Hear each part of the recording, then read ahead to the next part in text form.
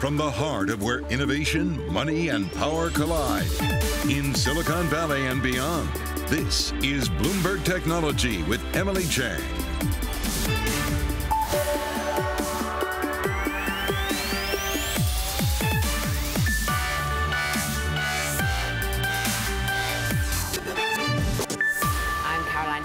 For Emily Chang. This is Bloomberg Technology. Coming up in the next hour, on the one-year anniversary of January 6th attack on the U.S. Capitol, we'll speak with Representative Ro Khanna, Democrat of California, of course, what he has to say about the role of social media, what changes must be made.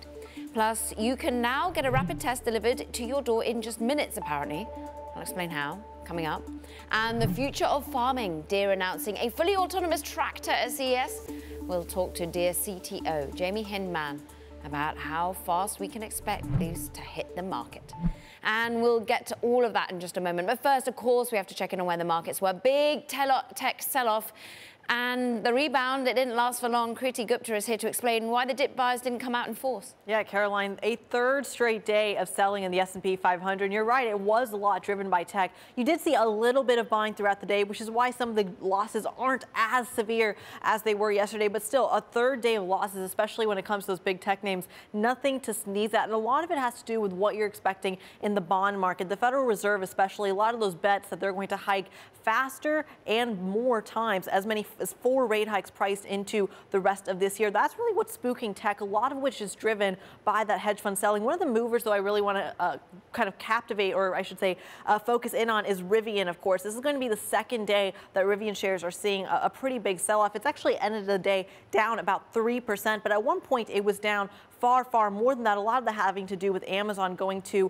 Stellantis to buy even more delivery vehicles. Now, the big question mark for Rivian is that uh, Amazon is actually allowed in their partnership to buy from multiple vehicles. Rivian, however, is only able to sell to Amazon. That's going to be something that could potentially weigh on the stock in the long term. It's actually dipping below its IPO price. Let's go back to those big tech names, though, because that is really the story in terms of what has been driving the index through those record highs, but also what leads those corrections. Just on Monday, Apple hitting that $3 trillion market market cap. And then you saw this really big pullback in uh, in big tech, in addition to the fact of that they are reacting to yields. You can really see that in 2022, this is that kind of that left, left or rightmost slump here they haven't really started on the best foot. The question is, do you start to see, to your point, Caroline, those dip buyers come back in? I want to end with a micro story here that we are actually getting after hours. Uh, Dow Jones reporting that GameStop is entering the NFT and crypto markets. They are building their own online marketplace uh, that will launch later this year, hiring as many as 20 people to work on the new product. So you do see GameStop shares up 29% after hours, Caroline. Some meme stocks Still got it, it would seem. Kriti, thank you for keeping us across the news there. Now, of course, this is a day of reflection because it is one year ago to the day that hundreds of supporters of the former president stormed the US Capitol, resulting in the deaths of several people. They were there for a rally to try to stop the certification of the rightly elected next president of the United States, that being Joe Biden. The former president of the United States of America has created and spread a web of lies about the 2020 election. He built his lie over months. Wasn't based on any facts. He was just looking for an excuse, a pretext to cover for the truth. He's not just a former president. He's a defeated former president. The events leading up to that day were largely organized online through social media. And yet, as we mark one year, some would say little has been done to effectively stop the spread of disinformation, conspiracy theories, violent threats that continue online today. Joining me now to discuss all of this from California Congressman Ro Khanna. He is, of course, a man that was inside the Capitol during the attacks that day. And it is wonderful to be with you and, and take us back, if you will, to this day a year ago and, and how you felt. Caroline, I was uh, sitting in my office in the Cannon building, and then we heard that we needed to evacuate because there was uh, a bomb threat. And so I left uh, my office. I started walking towards the Capitol, and then my phone was flooded with text messages saying, Don't go to the Capitol, it's being overrun. I didn't understand what people meant that it was being overrun, but I came back uh, to this office that I'm in now, the Cannon office building. We ignored basically the bomb threats uh, and I locked the doors and was here till midnight. And then the speaker called for us after at midnight to vote, and it was a real moment of pride that we could still vote uh, for President Biden and Kamala Harris to uh, affirm democracy. Congressman, of course, I'm sure from your perspective, you were torn because this is a moment where a lot, many laid blame at the feet of some companies, which you are within your representative area, which were born in California. Many wanted more strides to be taken to suppress this sort of ability to incite violence through the spread of arrangements online. How do you mark, how do you grade the likes of Facebook, the likes of Twitter, the likes of the publicly traded larger social media platforms that some feel had some role to play in this day last year? I'm very proud of representing Silicon Valley, but I agree with the critics that these companies, particularly Facebook, uh, are to blame. I mean, I read reporting on the ugly truth by two journalists that Facebook basically was sitting on information that their private security had said uh, there are going to be assassination attempts. We're monitoring this online. And the decision was made uh, not to report that to law enforcement, not to provide any warning. That is wrong. Let me be very clear. The First Amendment does not protect the right to incite violence. It does not protect the right to plan assassinations. And these companies uh, need to do a much better job in uh, in monitoring and removing threats of violence and, and alerting law enforcement about them. At, to that end, you know, many would say that these companies have invested a significant amount in so doing. They're using algorithms, they're using people, but it is a game of whack-a-mole. There are just too many people, too much information out there to bring down. How do you feel about that? Could more strides be made? Of course, in this case, there was a conscious decision that Facebook made not to report the information. They knew where the information was. I mean, give me a break. If these companies can micro target people uh, based on their preferences and have the sophisticated algorithms to do that, they certainly have the ability to remove threats of violence, incitement to violence, or uh, blatantly racist uh, uh posts. And, and some of the things that they have up there, again, don't meet the Brandenburg First Amendment test. So uh, they can do better from a legal perspective, and they need to do better from a sense of what is in the uh, public discourse and creating a strong public discourse. The idea that you can just have people congregate and talk and somehow that that's going to create peace and mutual understanding is, is so naive. If it were that easy, we wouldn't need political philosophy or democratic theory. They have to really uh, take more classes in philosophy and ethics and journalism and really be more reflective about uh, their role as stakeholders in democracy. Let's let's talk about that that role because in many ways leaders of such businesses don't want to have to play that role. They don't feel it's part of a company's right or authority to do so. Is it going to take regulation? Is it going to take some other area of force because they could certainly be pushed into committing more capital to, to work, but what about the role in which they have in terms of taking down such information?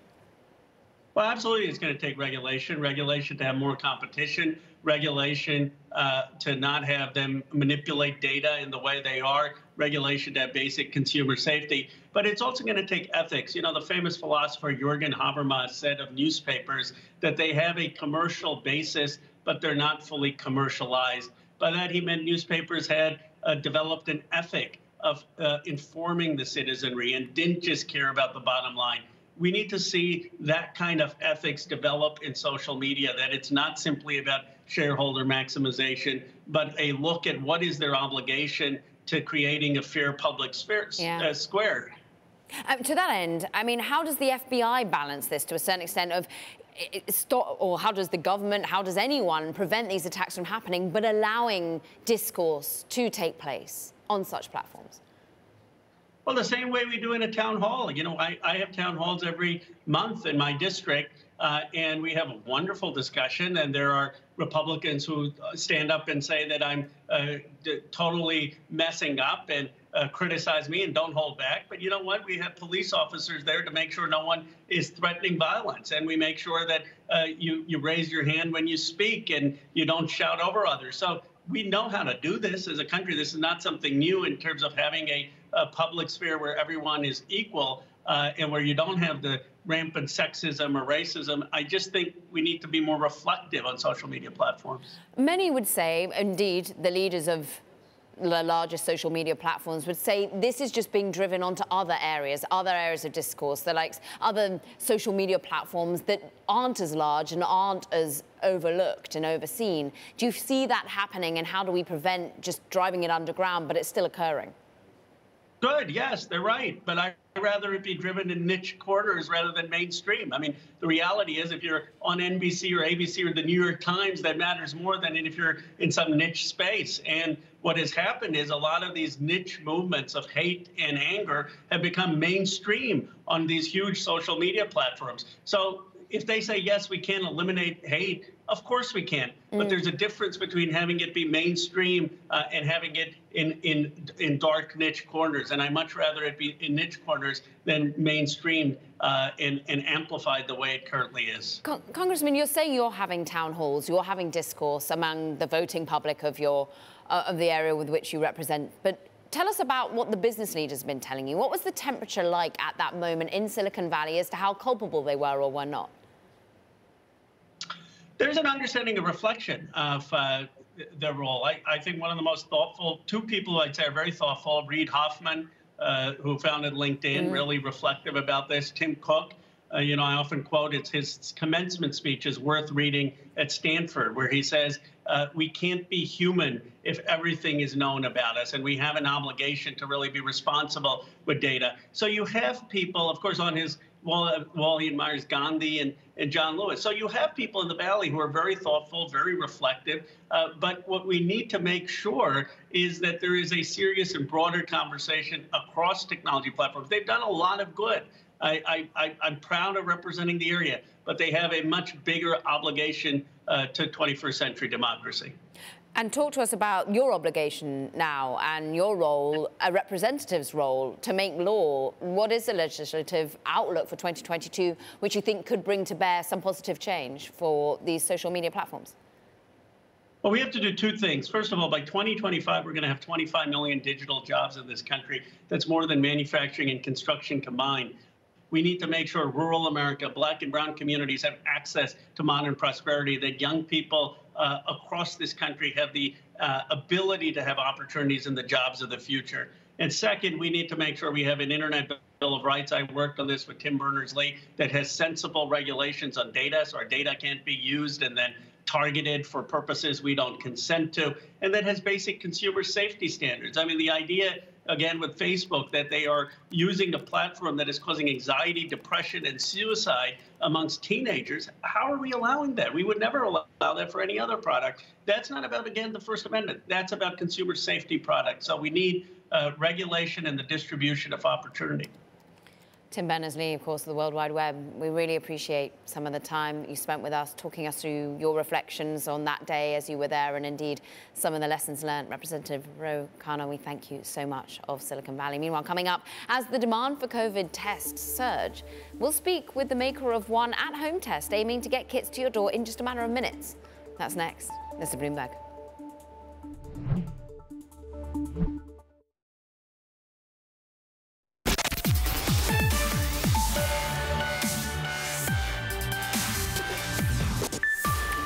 Now, the World Health Organization says that Omicron variant appears less serious than previous COVID strains, but shouldn't be considered mild.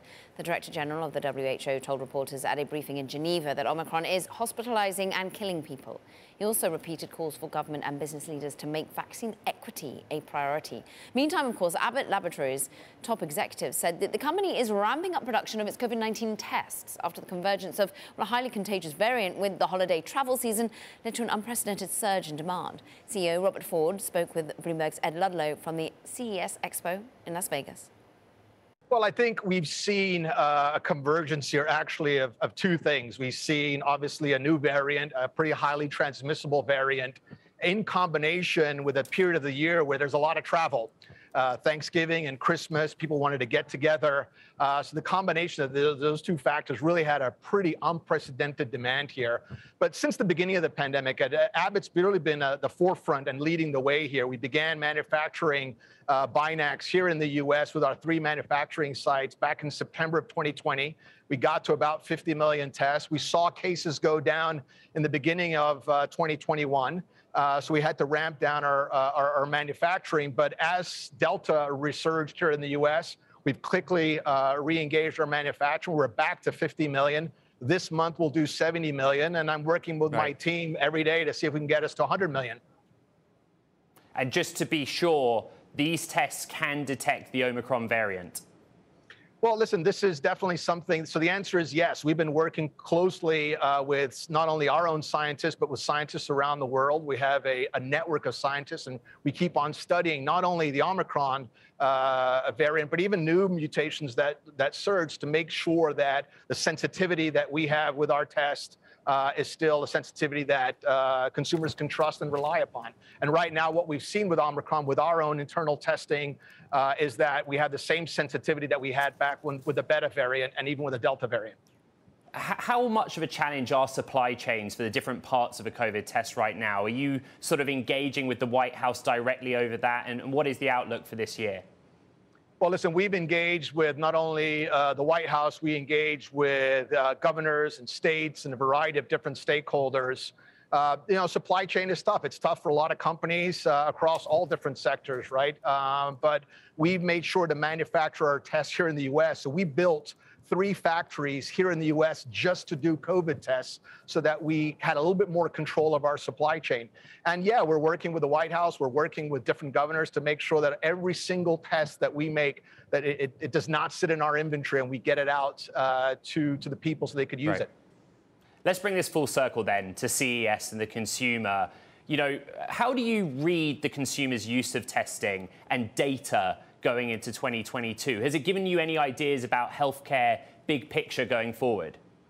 Yeah, I think that uh, the notion of you being able to do a diagnostic test and not necessarily have to go to a hospital or go to a lab, I think this is a new consumer behavior that will emerge from the pandemic. And you know, Abbott believes that this is a, a behavior that will be here to stay. And so we're developing a whole new uh, diagnostic testing channel uh, with all of our partners to be able to create uh, an opportunity for people to be able to test uh, not only at hospitals or doctors' offices, but even at pharmacy and at their homes. So I think this is a this is a trend that's going to stay. Great interview there by our own Ed Ludlow with Abbott CEO Robert Ford. Now, I want to continue this conversation on COVID testing and welcome Ron Gutman. He is the co-CEO of Intrivo. It's a health tech company that produces rapid, rapid COVID tests. And just talk to us, Ron, about the sheer scale of demand right now. Yes, Caroline, it's a pleasure to be here, and thank you for the opportunity. The, the sheer scale of demand is unbelievable. I mean, uh, we're seeing uh, demand across the board. You know, we're serving all the way from federal government to state governments, uh, to large uh, corporations, all the way to small businesses, and, and now direct to consumer. And demand is off the charts. I mean, as much as we are, you know, priding ourselves of being, uh, you know, health in uh, four dimension, 4D data-driven digital diagnostics, uh, and we were able to predict really well and be available uh, to uh, consumers and enterprise alike throughout the pandemic. Mm. We still feel uh, the demand really strongly, but today we're announcing for the first time our availability to people directly in as little as 15 to 20 minutes, and that's revolutionary. And that is through a partnership with GoPuff, which can deliver them at speed. And, and how many? I mean, there is still a limited supply. Can one just put in an order for loads? Or, I mean, how are you monitoring this? Yes, absolutely. So, you know, like we want to make sure that everybody has tests, right? So, you know, uh, per uh, per uh, order, we can people can order up to four, you know, test kits, which are two tests in, in one kit. So, you know, enough for a family enough for them to get tested. And they can you know they can place multiple orders as they need. But uh, we definitely uh, worked really hard to make sure that supply is enough. We are in more than a thousand cities across the united states 24 7 you can actually get uh, these tests uh, to your home in as little as 15 to 20 minutes. And interestingly talk to us about price point and the like because I've just been in the UK for the holidays where you get these for free from the government. You walk into pharmacies, you go to libraries, you get them sent by the government, whereas in the US, the healthcare systems operates in a very different way. How do you manage to marry that need, that desperate need to remain safe at the same and earn a living at the same time as, you know, pricing it right so that it means the right thing for your business?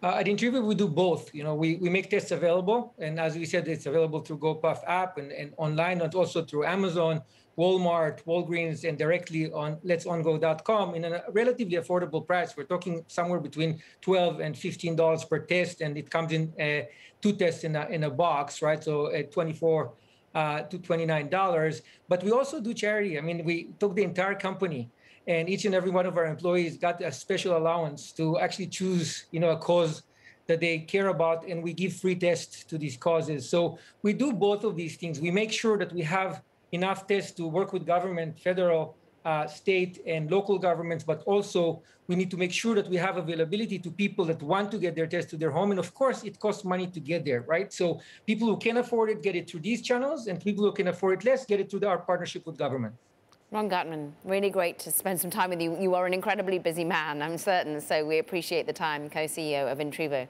we thank you. Coming up, betting big in New York State. Four companies get the go-ahead for Super Bowl bets.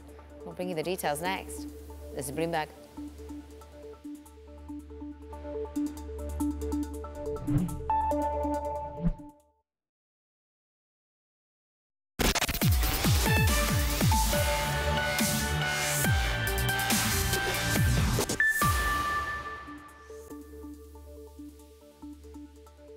Sports betting companies to start accepting wagers in time for the Super Bowl. That's, of course, FanDuel, DraftKings, Caesars Sportsbook, and Rush Street Interactive. And they're said to be able to have met the requirements to accept and process mobile sports betting in the state.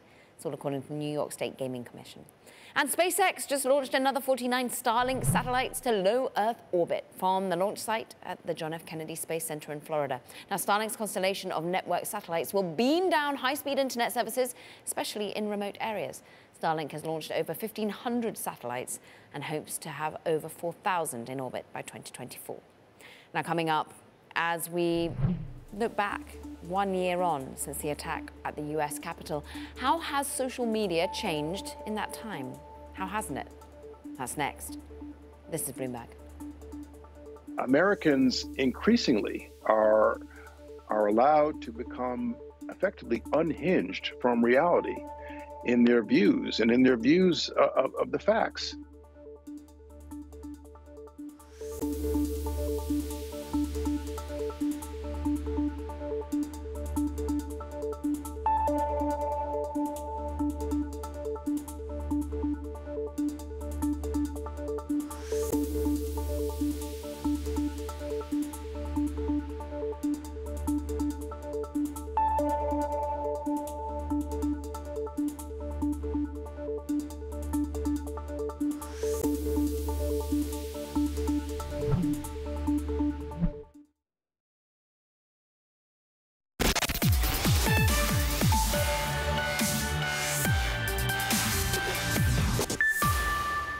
Caroline Hyde in New York. This is Bloomberg Technology. We mark, of course, one year since the United States Capitol was attacked by supporters of the former president, many falsely believing he had won. The lies permeated about the election were allowed to spread online, much of it unchecked. Now, the former president was ultimately deplatformed from many popular social media sites after what happened that day. But was it too little? Was it too late? I'm joined now by David Kirkpatrick. He's the founder of Techonomy and author of the book, The Facebook Effect. Also, we want to be welcoming Jennifer Grygiel, an associate professor of communications at Syracuse Newhouse School. Jennifer, I want to start with you. What's changed one year on? Uh, not much. so, um, fortunately, we had the next president take office, and he also uh, is a fan of social media. We have to remember that, you know, what happened on January 6th could happen you know, anytime now or in the future. And I'm just sad to see that more actions weren't taken to protect Americans against propaganda and that uh, that risk really wasn't reduced and it remains. So we really need to address that still. David, you similar view? Any optimism that that strides have in any way been made by the more popular social media platforms? We're talking Facebook and, and its various Meta's various platforms and Twitter? I think small strides may have been made. In general, I agree with Jennifer, though. Um, not nearly enough has changed given the scope of harm that has flowed from the abuse of these services. So, uh, one thing that has changed, I think, is the willingness of government to step forward and do some serious thought of regulation. And there's some interesting ideas about forcing transparency, for example, onto the algorithms and the nature of who's speaking uh, inside these services. Uh, but I don't think there's been any fundamental change of heart at Facebook in particular. Uh, one change we have to acknowledge is that Donald Trump has been deplatformed both by Facebook and Twitter. So that happened more or less immediately afterward. That is a significant change in itself, but it isn't systemic. Jennifer, when teaching as, as an associate professor as well, what academically is being said that could be done? What cast the future for us? Because many would say, well, they could throw more money at the situation, certainly, get the algorithms up to speed, have employ more people on the ground to be able to monitor the disinformation on their platforms, take it down. But it, from an academic perspective, does that work? Does it need to be regulation that works? Does it, or is this the human nature in a game of whack-a-mole? It's a little bit of all of that. I didn't start um, my career out you know, over six years ago now at Syracuse um, studying things like propaganda. I had to kind of learn it on the job out of necessity.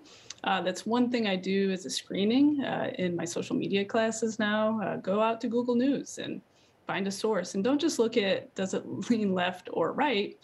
Who actually funds that source? And does it have a masthead? Can you tell who published it? Um, it's basics like that that extend beyond media literacy uh, is what I've found that we need, and just educating, you know, students and the public more generally that when the president speaks, uh, that's essentially propaganda, and it's gone unchecked. And so while we speak about regulation, we have to remember that there's a conflict with Congress, unfortunately, because that's how they get elected now. They go out and they set up their Facebook page and they use it and they acquire millions of followers sometimes. So as you know, he was just saying too, like we can't just uh, worry about the public sphere and who can talk, but like who's being heard. And I'm just more concerned that we're not hearing enough news and journalism, and that elected officials can continue to go out there and and amplify their message unchecked, and that sometimes includes lies, unfortunately. David, to this point. Echo chambers. We've always kind of lived in them. You used to just go and meet in a bar or a pub, and if I was in the UK, and speak to like-minded individuals and talk about your own viewpoints. But we've always been able, perhaps, to step outside and have different viewpoints. How how can we break down the echo chambers that do build and thrive on social media? Because in large part, that's how their business model works. Well, these echo chambers are far more capacious than what we might have experienced in the pub. Unfortunately, they include far more people. I mean, one of the things that happens in this intrinsically divisive medium is that you hear so many people. Uh, because of the algorithmic amplification and the way that you are shown content that you already agree with, you come to believe that everyone is thinking the same thing as you. And it really leads to a sort of fundamental delusion, in my opinion. Um, but what could we do? Uh, I mean, I do think, as the Congressman Khanna was saying earlier, and I think it's great that he represents these companies and yet he's so willing to speak out. Um, they could spend a lot more money. They could actually have more ethical concern for the nature of content that's flowing across their services because ultimately they haven't shown they really care that much. They are constantly reactive. They only take actions when they are pressured or when there's scandal. I mean, and very concretely regarding January 6th, they tuned down, Facebook turned down their civic integrity efforts after the election because they said, oh, phew, it's over. And then the, tons of things happened that they just let happen because they weren't watching. And then as soon as January 6th started, they, oh my gosh, we better start watching again. And they started taking posts and people down. But they, they are fundamentally irresponsible in the way they manage their, manage their systems. And we're just hearing, of course, as you said, from the congressman that represents Silicon Valley. Let's just listen for a moment to the former U.S. Homeland Security Secretary as well. That's Jeh Johnson. Social media at large, I think, is the issue that we, we need to, to, to tackle here. Uh, without curbing free speech, without undermining uh, our, our values in this country, I think it tracks back to the American people themselves to more responsibly scrutinize information and news that they consume on a, on a daily basis.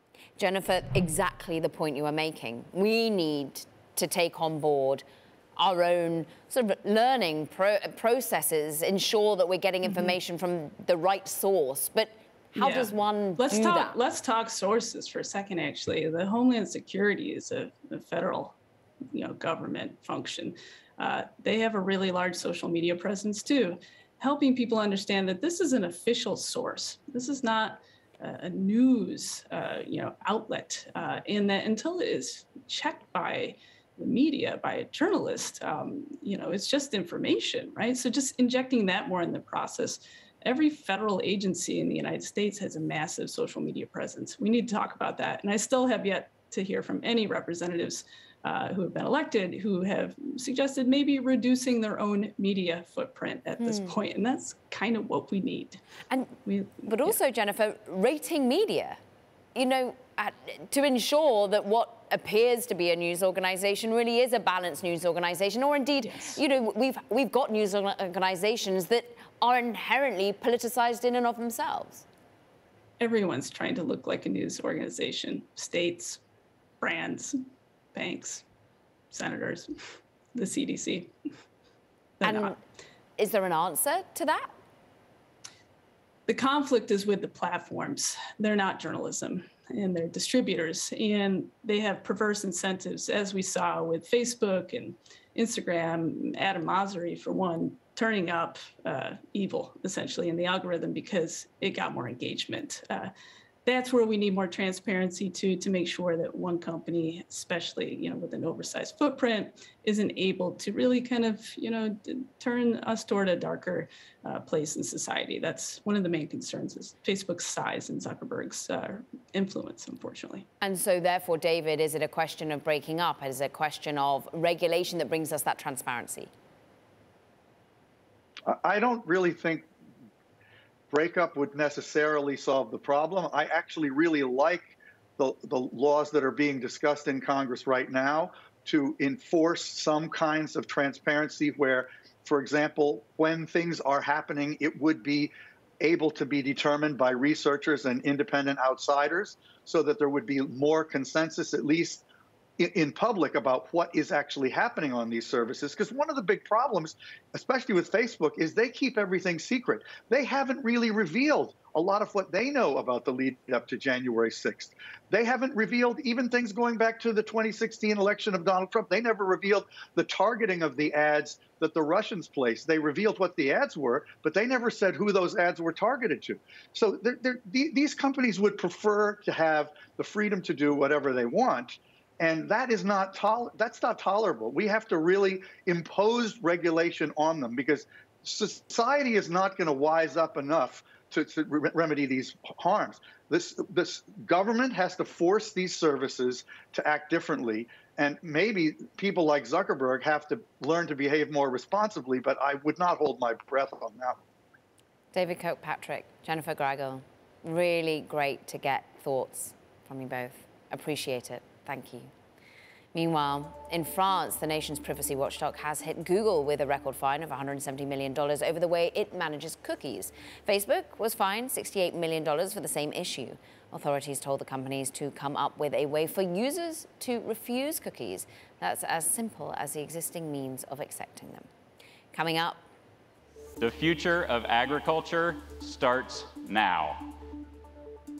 John Deere announcing a fully autonomous tractor at CES, which they say will revolutionize the way farming is done.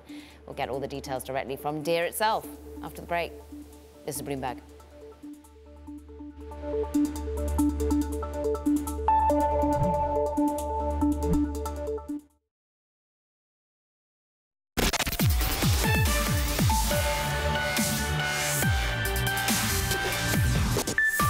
It's the farming of the future, fully autonomous tractors. That's what John Deere, the leader in agriculture and construction machinery, is promising after an announcement at CES that sent its stock soaring.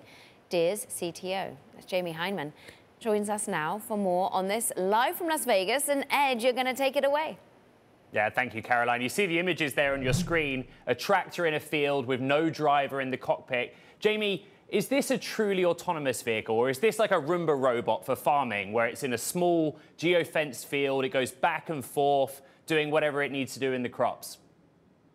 No, it's great to be here. Fully autonomous. That's uh, the first time ever that we've been able to take the operator out of the cab of the machine. You know, in farming, as you well well understand, we've had the, the connection between the operator, the, the human, and the machine for forever. And this is really groundbreaking in the sense that we finally get to break that connection and the machine goes out and does this work on its own. There was some surprise, particularly from investors, about this announcement, the speed you've been able to do this. Is this a market ready product? I mean, how many fully autonomous tractors will be in fields this year, next year? What volumes can you produce at? Yeah, we're still playing around with volumes. We're going to be slow on introduction. We want to make sure that we get this right. We're thinking, you know, 10 to 50. We will be in market this year, though, with those products, with growers in their fields doing work uh, for them in their operations.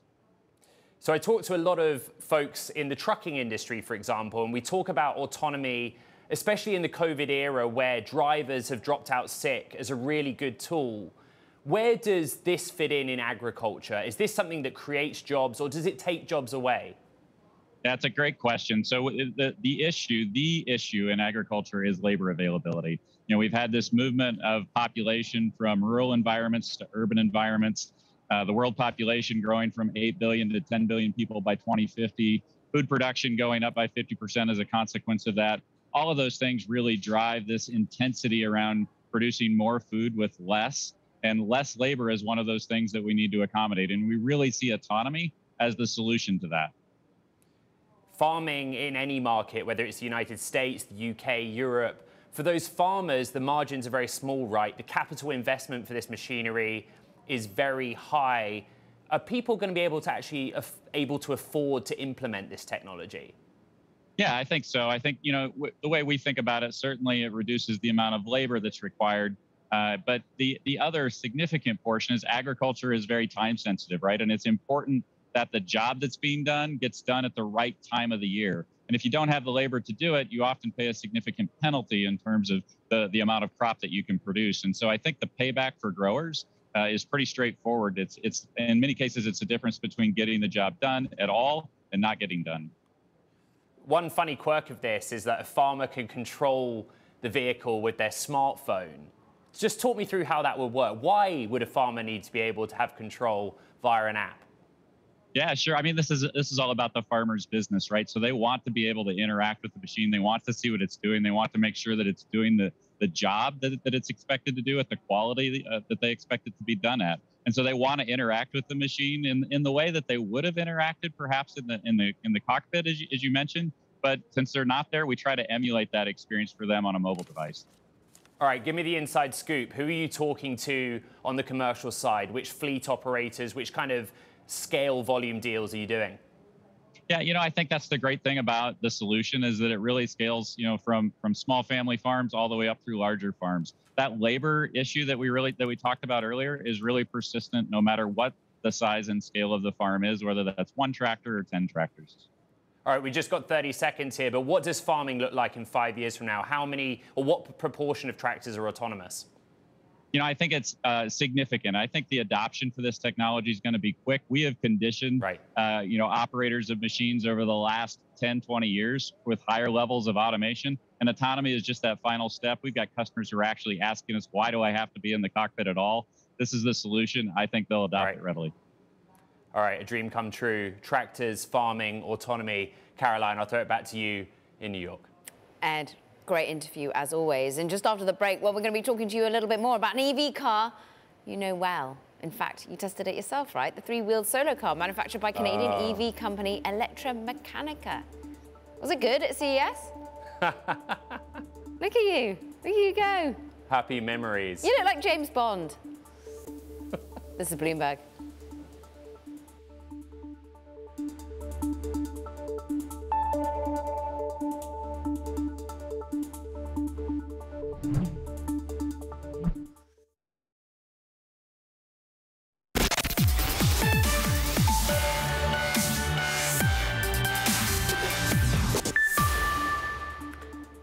Want to check in on a key stock today.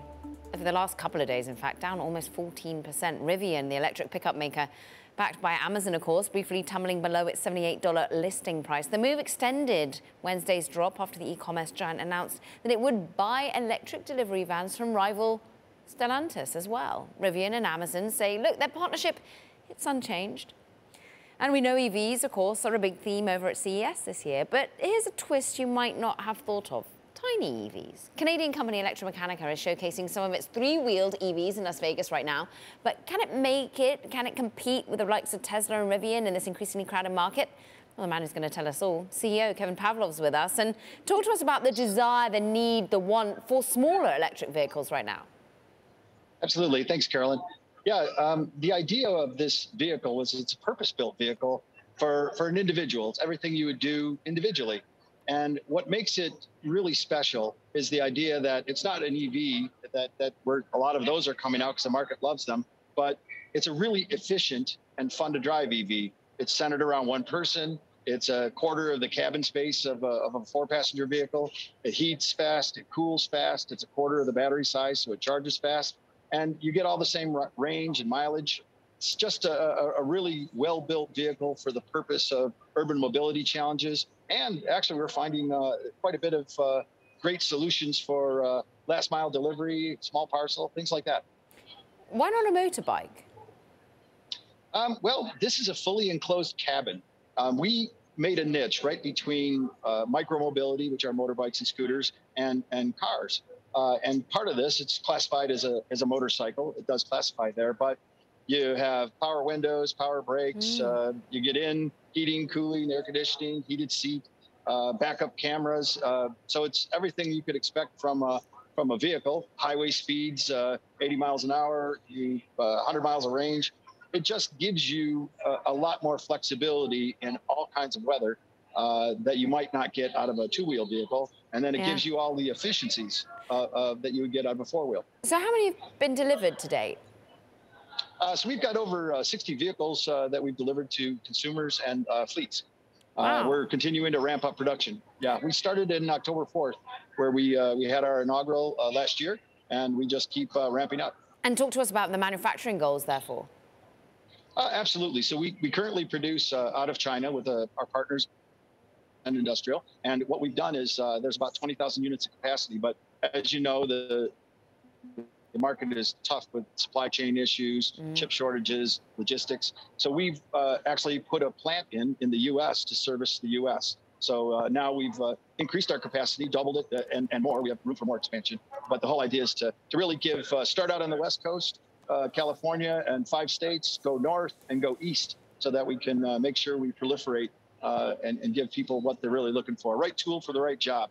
So making in China Canadian company, but your focus point is is America thus far, West Coast, then East Coast. Who else is buy? Has it all those 60 deliveries been to American buyers?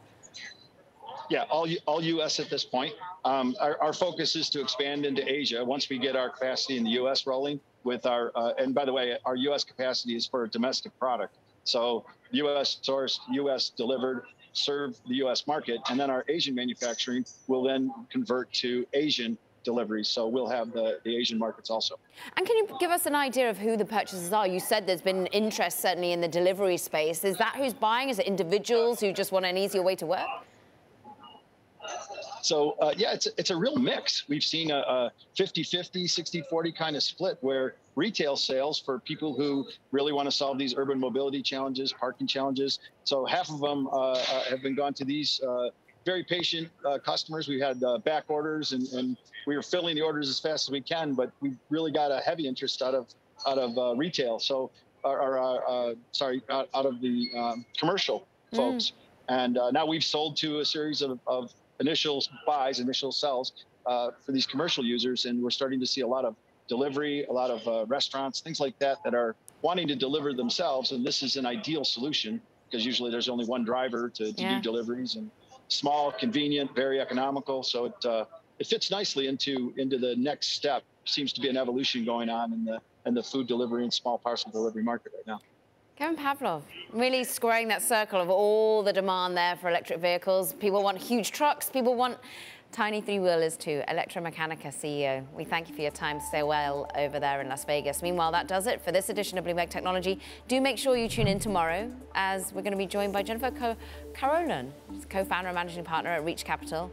Mark Mahaney, of course, Evercore ISI. I'm Caroline Hyde in New York. This is Bloomberg.